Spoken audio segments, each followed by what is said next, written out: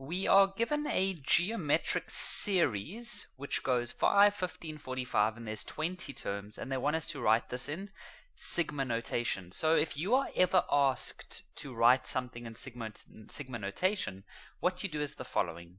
You put the sigma notation symbol, then you need some type of letter at the bottom equal to 1. You'll always use 1 when you are being asked to do this.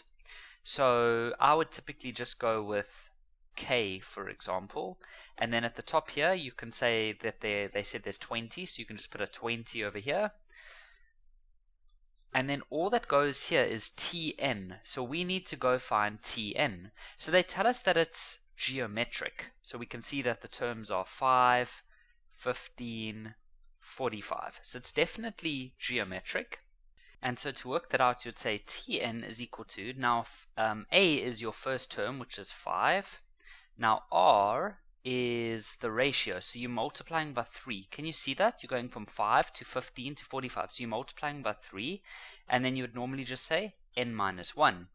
But now when you put it into here, you're going to say 5, 3, but now instead of saying n, you're going to say k, so that these two numbers always match up. You could have used another letter. You could have used R or P or now, number 2 says calculate the value of x. Well, x is equal to 5 plus 15 plus 45 up to 20 terms. So x is the sum of 20 terms. Uh, let me say here 20 terms. So x will be the sum of all of that. So we know that it's geometric. So we can simply use the sum formula of a geometric sequence. And so the sum of 20 terms is equal to a, which is 5.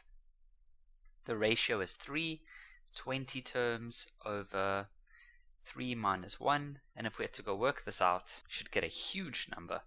87169, 87169, 61000.